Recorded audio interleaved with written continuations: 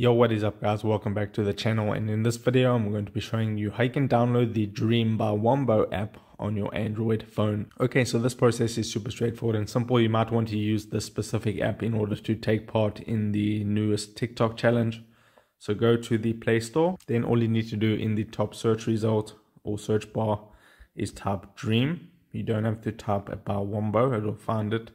So once you've typed Dream, it should show you the app. You can tap on it and now for me, it says uninstall and open because I have the app already installed.